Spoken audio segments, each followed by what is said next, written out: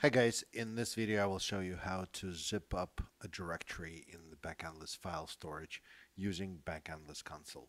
To do this I will switch to the files section of my application. Uh, notice that in this button bar or menu bar if you will, uh, located at the top there is a menu option called zip directory.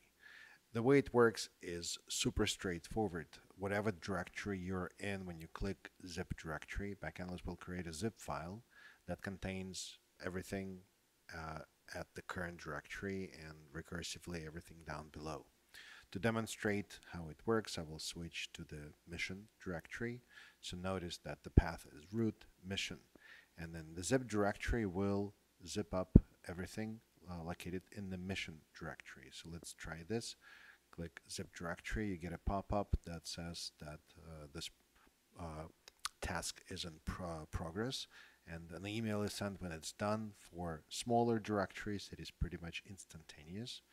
The uh, resulting zip file will be will be located uh, one level up. So here, since we zipped up mission, if we go back to root, you'll see that mission.zip is located right here. Uh, the only exception to the rule uh, the resulting zip file is placed one level up is when you zip up the root directory. In this case, if I were to click zip directory, the resulting zip is going to be in the same directory since there's really nothing uh, one level up. But uh, uh, for everything else, it's going to work exactly as it did now. The file name of the zip file, once you zip a directory, is going to be the same uh, name as the directory itself. So since we zipped up the mission directory, the zip file is mission.zip. Uh, super straightforward, uh, very easy to use, and I believe quite intuitive.